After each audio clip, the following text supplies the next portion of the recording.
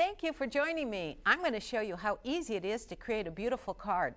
First thing I want to do is use um, my watercolor paper here and I'm going to wet it with just simply dipping that brush into water. Next I can come over and pick up some of my pretty orange colors here, a little bit of orange and um, cad red light, pulling this across and I get the beautiful colors that come in a morning glow and being up in a wooded area can be such an inspiration. See just as the sun comes up how that comes in and I'm pulling this back and forth across. I'll add a little bit more color while it's quite bright there. What happens is it'll dry lighter. So watercolors dry lighter, acrylics dry darker, and that'll work just perfect for me.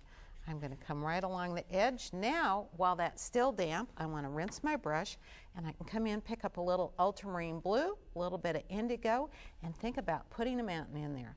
So I'm going to come right along the edge, just a little bit of color on that brush, pulling these around, and you can do just very easily some quick mountains that go up there.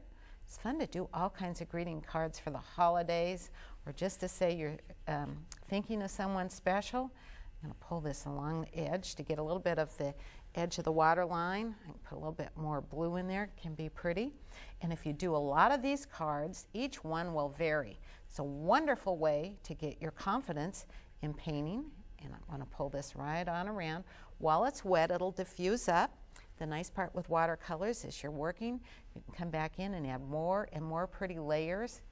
I can also come in, I can lift off a little bit of color make it look like there's a little bit of light.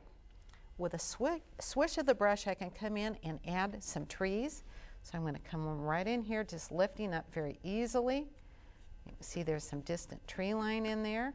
So I'm not doing um, a whole lot of detail to create those. Pull it down to reflection. A few more trees here in the background. Think of just how fun it is to take your paints along when you're um, maybe going on a winter vacation Look out and see the gorgeous, beautiful skyline that you can see and the colors. You'll start looking at things differently when you're out. The colors again that I used were some a little bit of orange. I used um, a little bit of my ultramarine blue. I've got some indigo in here. Easy to create that beautiful mountain scene. I hope you'll join me on public television.